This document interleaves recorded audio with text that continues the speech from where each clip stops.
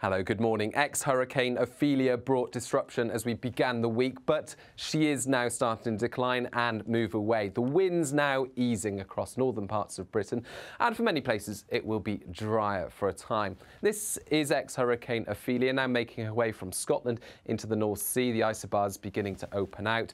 These weather fronts still wrapped around Ophelia, bringing a lot of cloud and further outbreaks of rainfall across Scotland, Northern Ireland, and Northern England. And at first this morning, we're going to continue to see gusts of wind, 50, perhaps slightly more across northeastern parts of England and southeast Scotland. But those winds are easing, and by the afternoon, although still breezy, I don't think we'll see any further disruption. A lot of cloud, further outbreaks of rain. Further south, however, for central England and for Wales, plenty of sunny spells. It's not quite as mild as it was on Monday, but it will feel quite pleasant in that sunshine. Now, by the end of the afternoon, we're going to see the cloud thicken again across southern parts of England.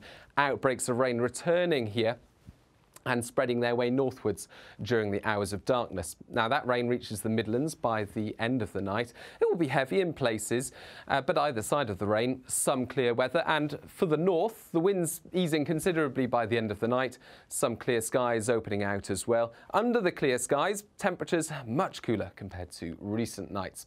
A chilly start, but a bright start across northern parts of Britain. Still some cloud and some patchy rainfall affecting the central belt, southeast Scotland, northeast England.